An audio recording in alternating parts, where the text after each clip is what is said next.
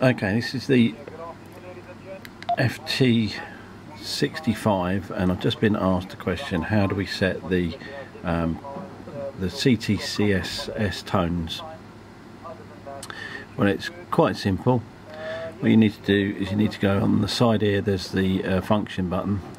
Um, if you push and hold that button it will go into this menu and you need to scroll your way through to menu 8 so just keep scrolling the way through till you get to menu number 8 and there's CTCSS there.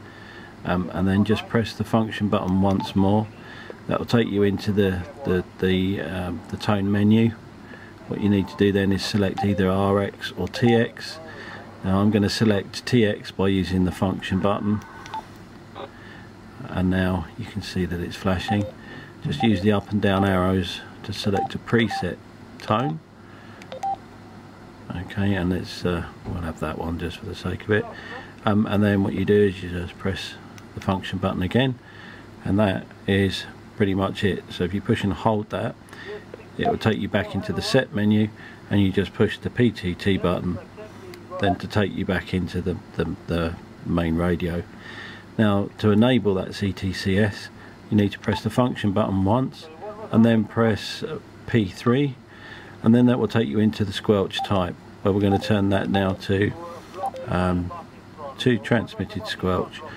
So there you go. So now we're just going to push the function button again. That'll take you back and now you can see there's TSQ and just to prove that that worked if we now take the um, we'll take one of our